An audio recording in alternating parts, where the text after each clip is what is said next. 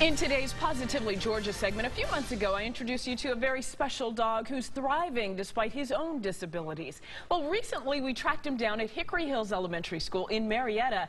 He's now working as a Happy Tails therapy dog. It takes a special kind of dog to let you do this.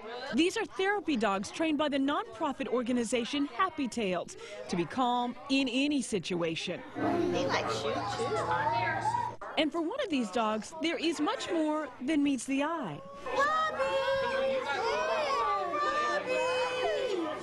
This seven-year-old border collie named Robbie is completely blind. He lost both of his eyes to a severe case of glaucoma.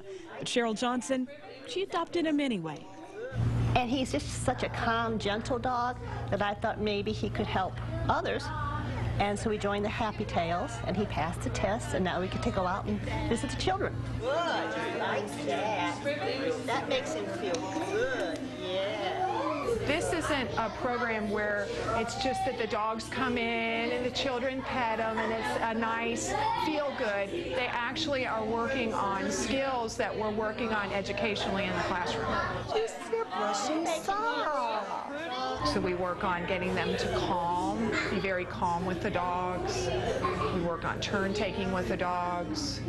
We work on communication skills, getting to use their language. Uh, video, you see the calming effect he has on everybody.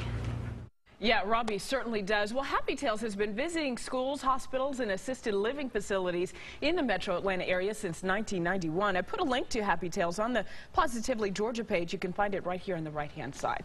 As always, if you hear about an amazing story, tell us about it. We might share it on the air. You can send us an email. Send it to positivelygeorgia at cbsatlanta.com.